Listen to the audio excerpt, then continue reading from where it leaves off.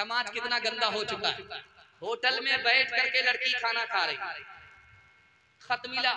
जब उसको पढ़ा गया तो लड़की खाना छोड़ दिया। उसकी सहेली पूछती अभी तो खाना खुशी खुशी खा रही खाना क्यों छोड़ दिया? का खत में धमकी है। धमकी क्या है? अगर तुम मेरे शोहर से मिलना जुलना नहीं छोड़ोगी तो कत्ल कर दूँगा।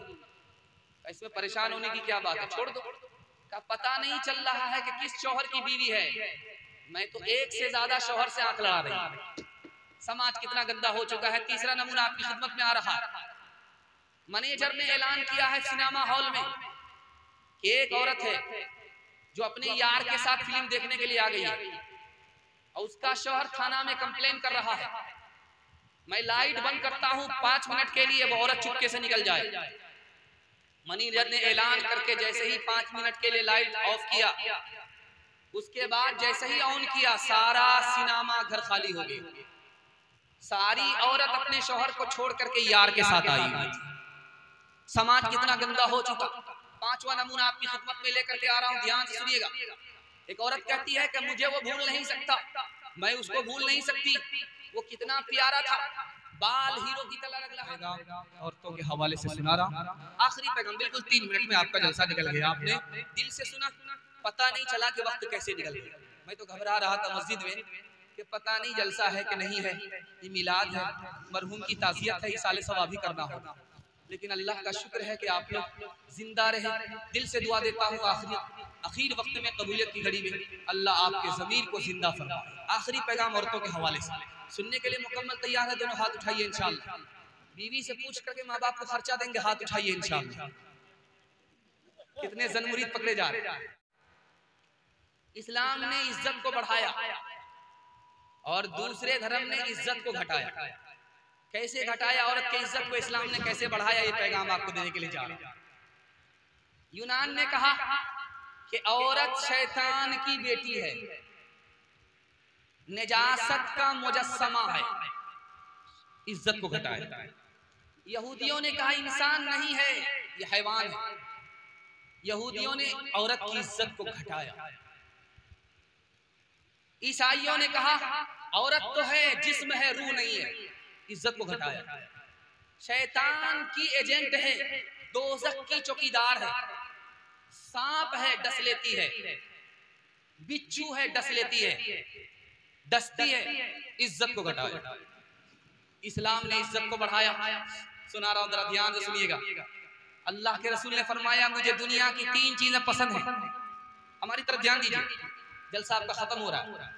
जो भी है ठीक ठाक है, ये तो मैं बूढ़ा है, ये जवान से क्या टकराए? खैर, जितना भी मुकाबला किया इस बूढ़े ने, सही है। ध्यान से सुनिएगा, मैं सुनाने के लिए जा रहा हूँ। अल्लाह के रसूल ने फरमाया, मुझे दुनिया की तीन चीज़ें पसंद है। दिल से पसंद करता हूँ, मोहब्बत करता हूँ। दिल से मानता हूँ, नबी की पसंद कितनी खूबसूरत पसंद है, एक मिसाल है कि खस्सी का गोश्त हमारे नबी ने पसंद किया। दुनिया में इससे बढ़कर के कोई गोश्त है। नबी की पसंद आखिरी पसंद। हमारे नबी ने अजवा खजूर को पसंद किया। उससे बढ़कर के दुनिया में कोई खजूर है ही जिसको पसंद किया वो आखिरी पसंद। अल्लाह के रसूल ने फरमाया, मुझे दुनिया की तीन चीज़ें पसंद है। नमाज़ पसंद है, आँख ठंडी होती है।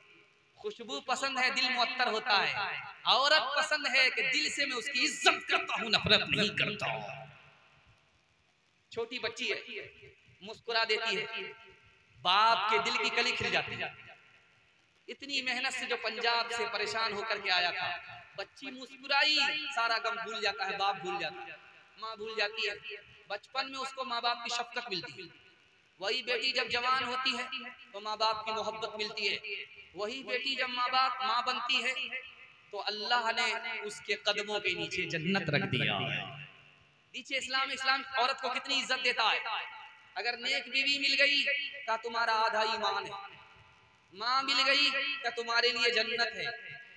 और बेटी मिल गई बहन मिल गई।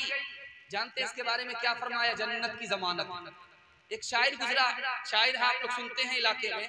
उस शायर का नाम है दिल खैराबादी अब जानते हैं दिल खैराबादी इतना मकबूल क्यों हुए? आपको राज बताने के लिए जा माँ का इंतकाल हुआ था। जवान बेटी थी। और बाप का इंतकाल माँ से पहले हो चुका था।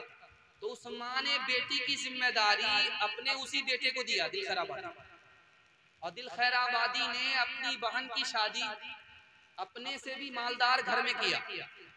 माँ की दुआ मिली और बहन की मेहरबानी से अल्लाह ताला ने पूरे हिंदुस्तान में उस शायर को चमका दिया। इसलिए बेटी हो तो घबराना नहीं है, बहन हो तो घबराना नहीं है।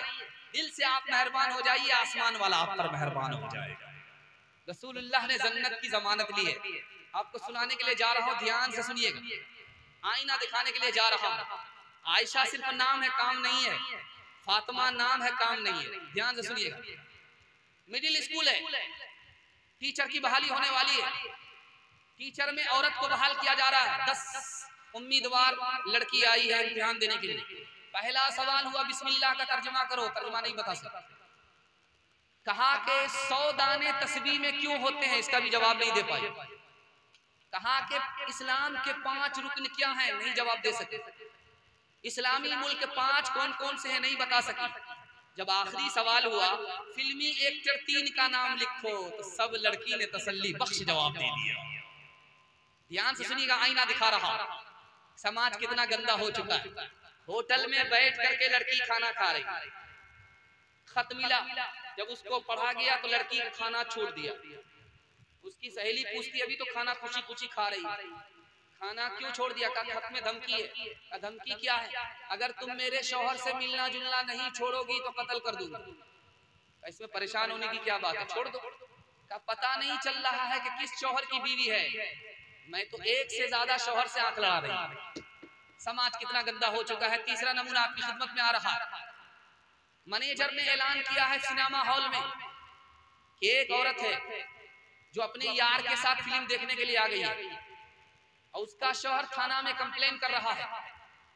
मैं लाइट बंद करता हूँ पाँच मिनट के लिए वो औरत चुपके से निकल जाए। मैनेजर ने ऐलान करके जैसे ही पाँच मिनट के लिए लाइट ऑफ़ किया। उसके बाद जैसे ही ऑन किया सारा सिनेमा घर खाली हो गया। सारी औरत अपने शोहर को छोड़ करके यार के साथ आई हुई समाज कितना गंदा हो चुका। पांचवा नमूना आपकी खिदमत में लेकर के आ रहा हूँ ध्यान से सुनिएगा। एक औरत कहती है कि मुझे वो भूल नहीं सकता। मैं उसको भूल नहीं सकती। वो कितना प्यारा था। बाल हीरो की तरह लग रहा था। कितना खूबसूरत था। मैं उसको भूल नहीं सकती वो मुझे भूल नहीं सकता। हम दोनों एक दूसरे को भूल नहीं सकते। तो उसकी सहेली ने पूछा कि तुम्हारा मंगेतर है क्या? तुम्हारा होने वाला शौहर है क्या? का नहीं कुत्ता है। जिससे मैं बहुत मोहब्बत करती थी वो गायब हो गया उसका पता नहीं चल रहा है। आखिरी नमूना देने के लिए जा रहा हूँ ध्यान से सुनिएगा। अभी माँ के हवाले से आपने सुना। कितना सुना? शायरी भी आपने सुनी पैगाम भी सुना।